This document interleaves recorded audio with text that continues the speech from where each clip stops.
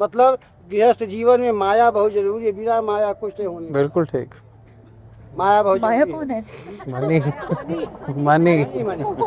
बिना माया के कुछ नहीं होने वाला है। तो पैसा बहुत ज़रूरी है।